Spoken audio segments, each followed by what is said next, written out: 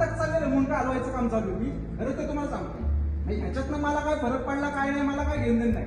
पण एक सांगतो की जी आता आम- आमदार साहेबांचं जे काम आहे आमदार साहेबांना आम्हाला किती फंड दिला आतापर्यंत? बारा तेरा अठरा कोटी फंड दिला. किंवा मागच्या काळात आणि आता देखील दिला.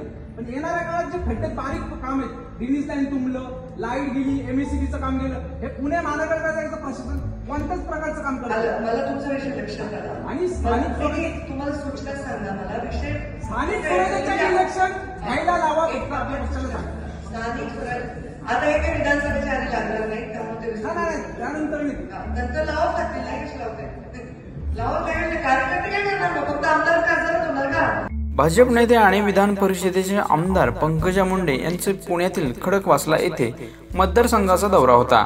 त्यावेळी कार्यकर्त्यांच्या बैठकीत मात्र नरेगावच्या सरपंचाने भाजप पक्षाबद्दल केलेली टिप्पणी विशेष चर्चेचा आजचा विषय ठरला आहे.